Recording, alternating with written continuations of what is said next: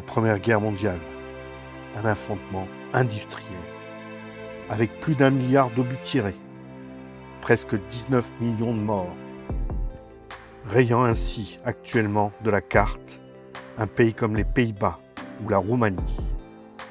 Durant les 1561 jours de conflit, où près de 900 poilus tomberont par jour, chacun de nous connaît la grande histoire. Or, certains héros et lieux ont été oubliés dans ces écrits. Ces histoires restent encore méconnues.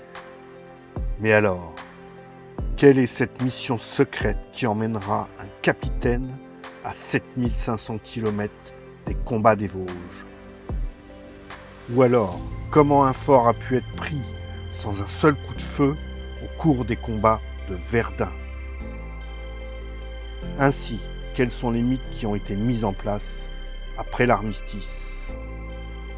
Dans cette guerre industrielle, quel a été réellement le rôle des animaux? Ou pourquoi les Américains se sont-ils engagés dans les rangs français alors que les USA n'étaient pas encore rentrés en guerre?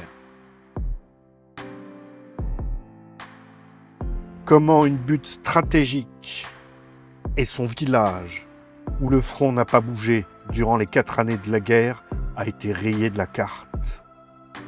Enfin, quelle est cette caverne où Français et Allemands ont vécu ensemble sous les champs de bataille, en cohabitant dans une sorte de trêve?